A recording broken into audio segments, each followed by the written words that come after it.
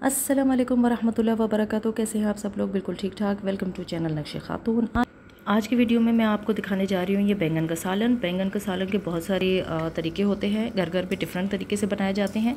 तो आज मैं आपको अपना तरीका, अपनी रेसिपी शेयर करने जा रही हूँ। बैंगन को सबसे पहले मैंने शैलो फ्राई कर रही हूँ। शैलो फ्राई से मुराद ये है कि आप बैंगन को ज़्यादा डीप फ्राई ना करें। बिल्कुल डिप नहीं हुए हुए। आप देख सकते हैं यानी कि घी बस इतना डाला है कि आप इसको उलट पुलट आराम से कर सकते हैं। बैंगन जब तक फ्राई हो रहे हैं, मैं आपको बाकी के इंग्रेडिएंट दिखा देती हूँ। इसमें टमेटोज़ जाएँगे और प्याज, लहसुन, वो तो ऑब्वियसली हमारे सब पाकिस्तानी डिशेस में जाती हैं।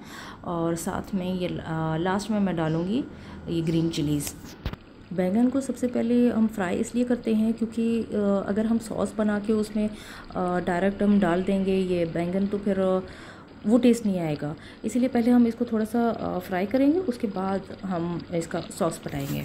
तो लीजिए ये बैंगन अब लाइट ब्राउन हो गए हैं, अब इनको हम उतार लेंगे एक अलग प्लेट में हम रख लेंगे। अब घी को हम थोड़ा कम कर लेंगे, क्योंकि अब सॉस बनाने की बारी आ रही है।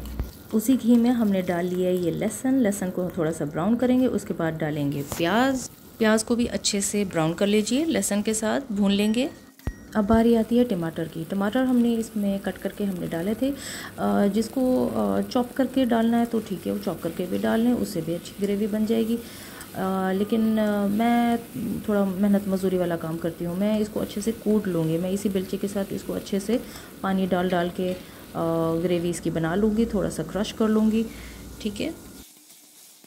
अब आप देख सकते हैं इसमें मैंने आ, मसाले भी डाल दिए हैं। मसाले मेरे एज़ यूजल हर रेसिपी की तरह नमक, मिर्च, हल्दी, बस। वो भी छोटी छोटी बस एक एक चमची मैंने डाल दी है।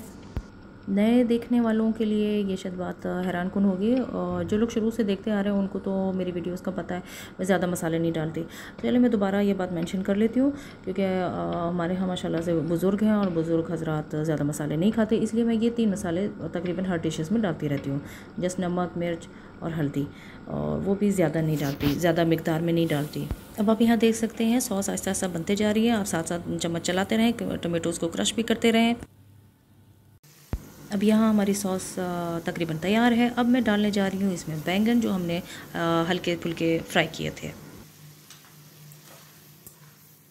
साथ साथ चम्मच भी चलाते रहें। अब थोड़ी देर के लिए दम पर रख दें। तकरीबन 10 मिनट के बाद आप ढक्कन खोल के देखेंगे, इसकी अच्छे से सॉस भी तैयार है। बैंगन भी अच्छे से गल गए हैं। अब आप इसमें हरी मिर्च डाल दें और दोबारा ढक्कन दे दीजिए। मज़ीद 10 मिनट पकाने के लिए। तो लीजिए, हमारा बैंगन का सालन तैयार है, अच्छे से सॉस इसकी रेडी है, बहुत अच्छी से खुशबू आ रही है।